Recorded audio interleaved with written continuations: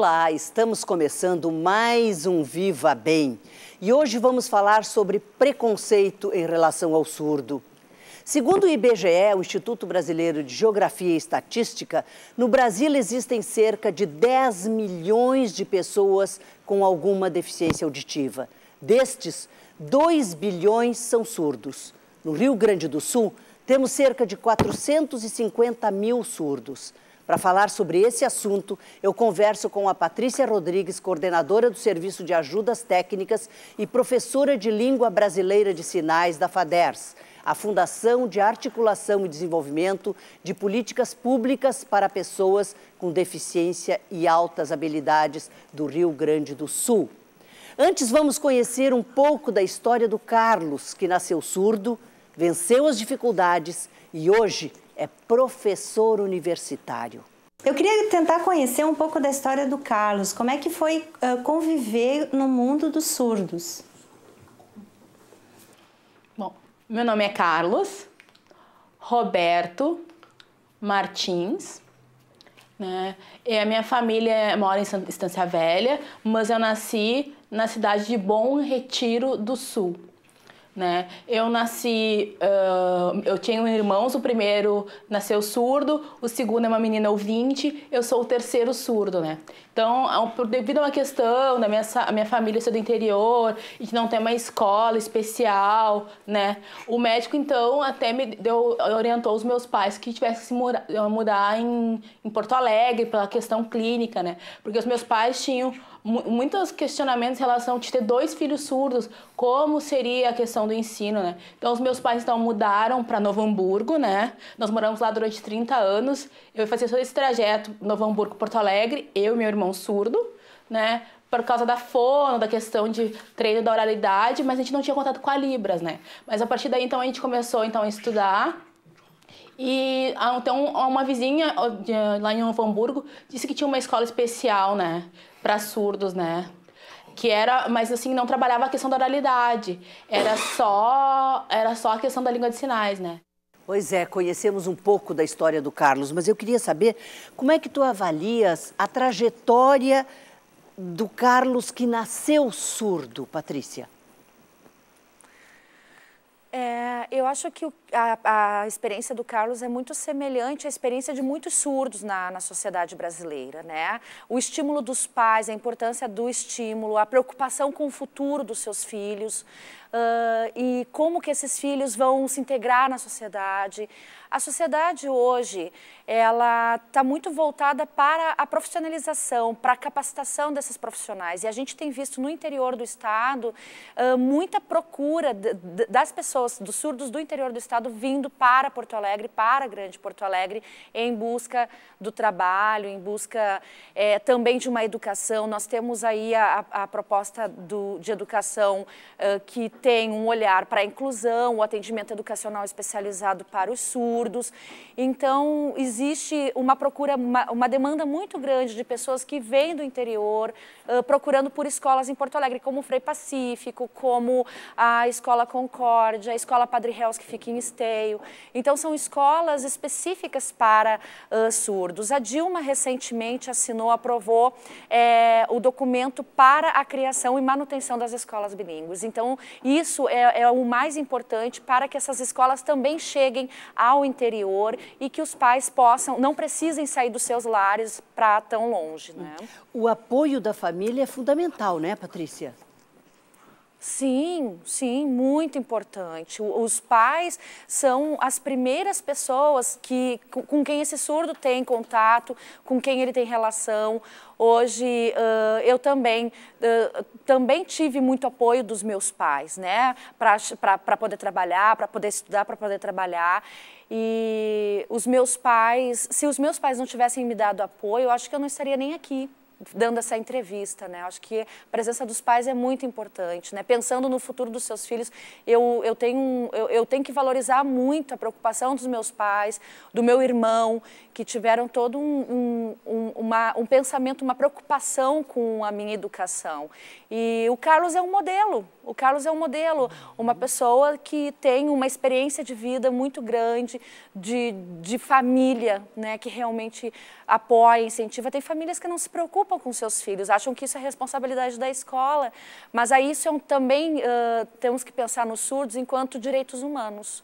Né? E a questão não é de ouvir ou não ouvir, mas a questão de poder estar é, realmente na sociedade, porque eu tenho saúde, eu posso trabalhar, eu posso, eu só preciso de alguém que se comunique comigo. Oh, que maravilha. Obrigada, Patrícia. Agora nós vamos conhecer um pouquinho mais da história do Carlos, porque ele é um exemplo. O Carlos é um exemplo. Claro que tem eh, milhares de Carlos já, a gente sabe que também lutaram, que tiveram o apoio da família também, mas sempre a gente tem que mostrar um pouquinho mais esse exemplo do Carlos. Vai aí.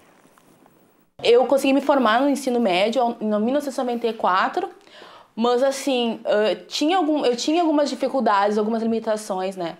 Eu pensei assim que, que eu ia terminar o segundo grau e, e ia conseguir um trabalho assim. Então fui, fiz um curso de informática, né? Eu trabalhava antigamente num, fazia um estágio no Banco do Brasil, foi lá que eu adquiri toda a experiência. Eu fazia, trabalhava com máquina datilógrafa, né? Então, eu e meu irmão resolvemos abrir então uma loja de autopeças, né? Que já, já tem há 20 anos essa, essa parceria, né? Até hoje, essa, essa nossa loja. Mas, assim, os meus pais queriam muito que eu tentasse entrar na universidade, né? Então, foi a partir daí que eu resolvi, então, fazer um vestibular na UBRA e no La Salle. E passei nas duas universidades. Acabei optando pelo La Salle, né? Eu fui o primeiro surdo a fazer vestibular na instituição, né? Isso foi em 2001, né? Então, eu comecei, então, a faculdade de pedagogia na área de supervisão. É, for, me formei em 2006, né? Então, fiz então um mestrado, né, no mesmo La Salle, na mesma instituição, de 2006 até 2009, né.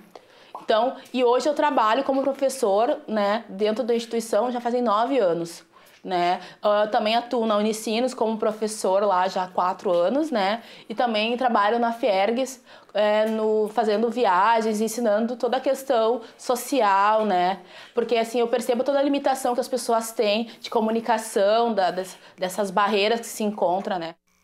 Pois é, e como é que a sociedade hoje, né, que me parece mais evoluída muitas vezes, às vezes não tanto, como é que ela vê essa limitação do surdo para a inserção na sociedade?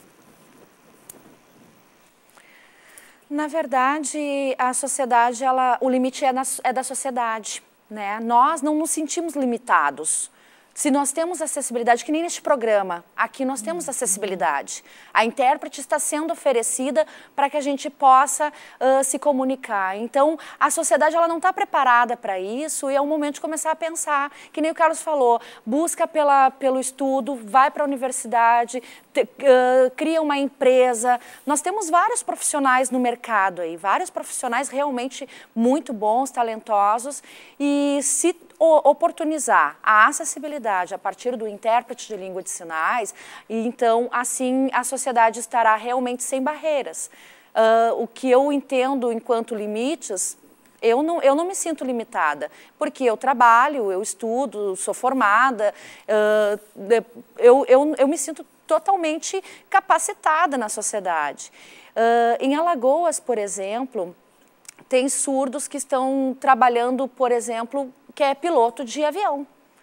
Então, não há uma preocupação é, com este surdo pilotar um avião. Não há nada que restrinja ele. É a sociedade que se restringe porque ela não consegue se comunicar. E aqui o programa Viva Bem está de parabéns pela acessibilidade. Ah, que ótimo, que ótimo. E para nós também é, um, um, um gran, é uma gratificação muito grande poder estar tá fazendo esse programa. Eu já começo a agradecer, porque para mim, apresentadora, está sendo um, um exemplo maravilhoso de quanto a gente pode ainda abrir esse olhar para que todas as pessoas tenham a contribuir e qual é o valor de cada pessoa que vence tantos desafios para se comunicar com a gente. Patrícia, tu é linda, Patrícia.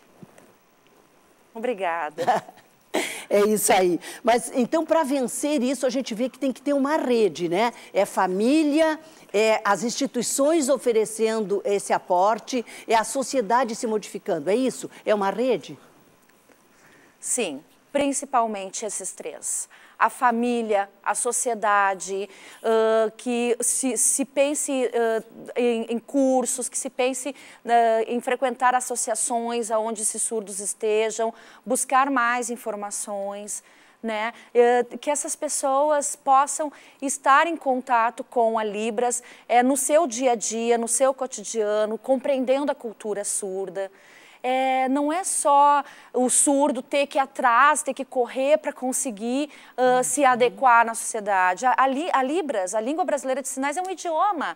Assim como as pessoas estudam inglês, espanhol, a Libras deveria estar no dia a dia dessas pessoas. Depois da convenção da ONU, que traz sobre os direitos da pessoa com deficiência, vem trazendo a, o respeito, a valorização, a difusão da, da, das questões linguísticas e culturais dos surdos. Então, se a gente está na rua, se a gente vai num estabelecimento público, a gente precisa se comunicar através da língua de sinais. Então, a sociedade tem que estar tá disponibilizando isso. Claro, e a gente aqui está fazendo o nosso papel. O Viva Bem está 19 anos no ar. Claro que é mais a gente trouxe a língua de, de sinais aqui para dentro do programa, mas eu acho que é, é no, o nosso papel, é o nosso papel, é ampliar esse programa para que todas as pessoas possam ver. E, e volto a dizer, eu, realmente é maravilhoso ter a Patrícia e a Cris aqui, que não está aparecendo, mas que está fazendo com que a gente possa ter esse contato direto. Nós vamos a um pequeno intervalo e já voltamos. Ele é curtinho e eu tô faceira barbaridade.